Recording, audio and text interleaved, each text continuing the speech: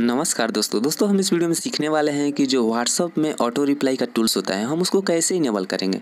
दोस्तों, उसमें होता क्या है कि देखिए, यदि आपके पास कोई एसएमएस करता है तो आप उसको सीन करें या ना करें, लेकिन आपके तरफ़ से एक रिप्लाई चला जाता है और वो भी आपके मन से, जो आप चाहे वही रिप्लाई जाता है। जैसे कि आप देखिए, इस नंबर पे यदि आप मेरे को कोई व्हाट्सअप मैसेज करते हैं तो आपको मेरे तरफ़ से एक छोटी सी रिप्लाई चली जाती है। जैसे कि आप देख रहे हैं इस प्रकार की आपको रिप्लाई मिल जाएगी। तो आप इसको कैसे इनेबल करेंगे? दोस्तों, इसमें एक और खासियत है कि यदि आप इसको यूज़ करते हैं तो आप किसी को भी लिंक के थ्रू आप मैसेज के लिए इनवाइट कर सकते हैं, जिससे उसको अगले बंदे को आपका नंबर सेव ही नहीं करना पड़ेगा। लिंक पे क्लिक करेगा और आपका व्हाट्सअप के प्रोफ़ाइल में वो चला जाएगा।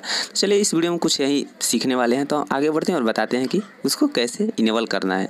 दोस्तों वीडियो काफ़ी छोटी और सिंपल सी वीडियो होने वाली है। यदि आपको समझ में नहीं है तो कॉमेंट में ज़रूर बोलिएगा। और यदि आपको अच्छा लगे तो प्लीज़ लाइक करना ना भूलिएगा। तो चलिए हम शुरू करते हैं और आगे बढ़ते हैं कि कैसे करना है। तो दोस्तों चलते हैं अपने टूल्स में और देखते हैं कि कैसे उसमें मैसेज टाइप करना है, कैसे सेव करना है, कैसे उसमें भेजा जाता है। तो चलिए, सबसे पहले आपको दिख रहा होगा अवे मैसेज दोस्तों ये वाला है, आपका जो रिप्लाई होता है मैसेज वो वाला है। और उसका ठीक नीचे है ग्रेटिंग मैसेज दोस्तों आप चाहेंगे तो दो ठो एक साथ एस सेंड कर सकते हैं। एक ग्रेटिंग मैसेज और आपका जो एक रिप्लाई जो आप बोलना चाहते हैं, जो उसमें टाइप करेंगे, वो वहीं जाता है। तो चलिए उसको ओपन करके आपको दिखा देते हैं कि कैसे उसको लिखा जाता है। दोस्तों, सबसे पहले हम ग्रेट इन मैसेज को ओपन करते हैं और आपको दिखाते हैं कि हम क्या लिखे हैं। देखिए दोस्तों, हम लिखे हैं hello dear friends welcome to my channel जैसे कि आप इसमें अपने इच्छा के अनुसार कुछ भी लिख सकते हैं और वहीं जाएगा जो आप इसमें लिखेंगे।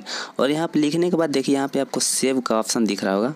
उसी पे आपको क्लिक कर लेना है, इसको इनेबल करने के बाद।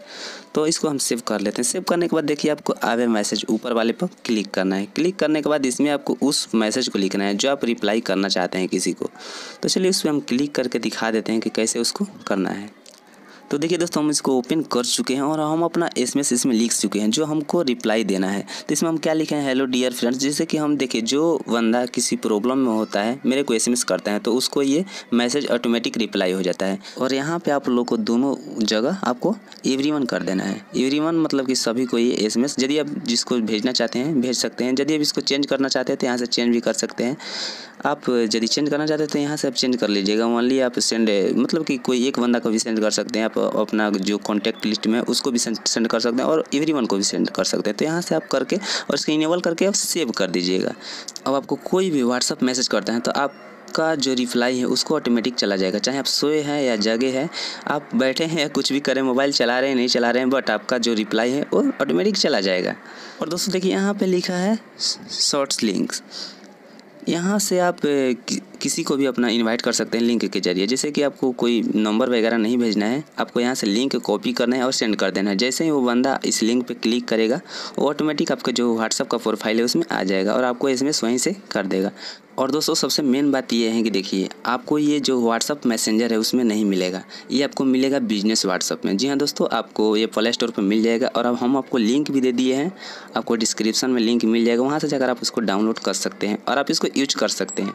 तो दोस्तों, इस वीडियो में फ़िलहाल इतना ही। ये जानकारी आपको कैसी लगी कमेंट सेक्शन में आप ज़रूर बताइएगा। और यदि मेरा कंटेंट अच्छा लगा तो आप मेरे चैनल को सब्सक्राइब ज़रूर कर दीजिएगा, ताकि सभी वीडियो का नोटिफिकेशन आपके पास सबसे पहले पहुँचे। तो दोस्तों, मिलते हैं अगले वीडियो में। तब तक के लिए धन्यवाद।